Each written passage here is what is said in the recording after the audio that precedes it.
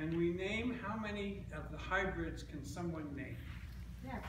Please. Spanish colonial, Italian Renaissance, and um, uh, Venetian Gothic. Oh my God. Good girl. Whoa! Good God! I knew that was gonna be a question. I did a little SIV and then got I kept it, I thought I just had to remember bed rest. I remember is Venetian Gothic.